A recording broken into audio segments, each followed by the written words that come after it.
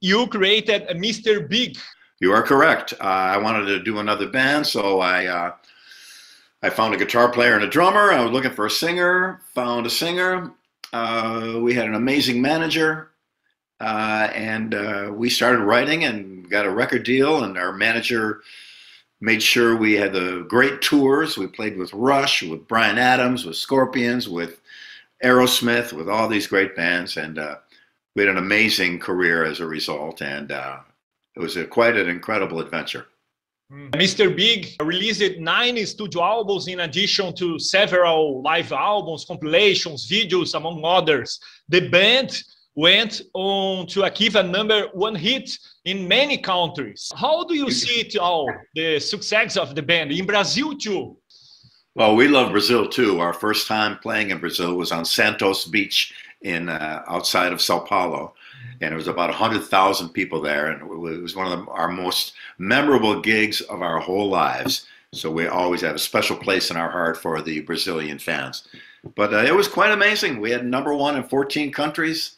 Uh, we uh, when we were on the Billboard charts, we were in the top 10, and then Prince and Michael Jackson had a song that they were trying to make number one, and we jumped ahead of them and got to number one. So we uh, we didn't get in trouble for that, but I thought we would. but uh, so we uh, we had a great great uh, run, and we've made friends all over the world. We've played everywhere, and uh, I get uh, email and Instagram and Facebook and Twitter messages from India and Afghanistan and Iraq and Iran and all over Africa and Asia and China and New Zealand and Australia and of course Brazil and all the South American countries. So we we made a lot of friends around the world. We're very happy about that. I can see that in, in Japan you are much much loved. Very good. Yeah, we have incredible uh, uh, fans there. We uh, uh after the earthquake in 2011, we were the first band to, to go play. Everybody else canceled, but we it was dangerous. We thought we don't care. We want to go and play, and give an idea of life coming back to normal again.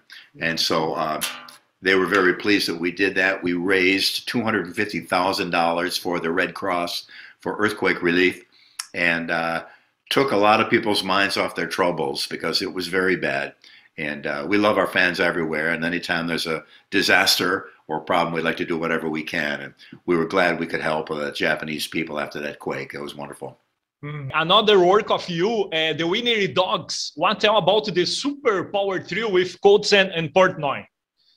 That's one of my favorite bands ever. Oh, I love playing in that band.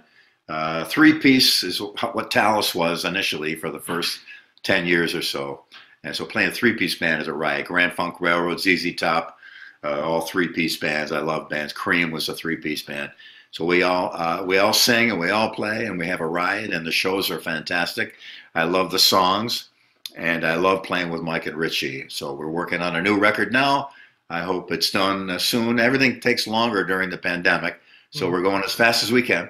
But uh, we we've made a lot of progress, written a lot of songs already, and we'll, we'll it'll be coming soon. Mm-hmm. And how about uh, Sons of Apollo?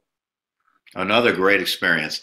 Wonderful guys, Bumblefoot, Jeff Scott Soto, Derek Sherinian, Mike, and myself. Uh, we have a wonderful time together.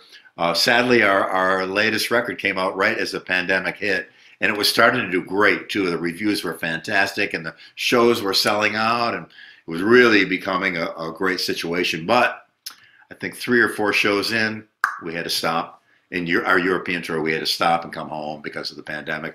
So that, that was an unlucky uh, situation, but we did the right thing. We, we, we had to get home and stay in our homes and make sure people didn't gather in crowds. So uh, hopefully we can get out and perform with that uh, very, very soon. Uh, we, uh, uh, we would love to come to Brazil and play with Sons of Apollo. That would be a riot, I'm sure, and I think you'd enjoy it very much. Amazing.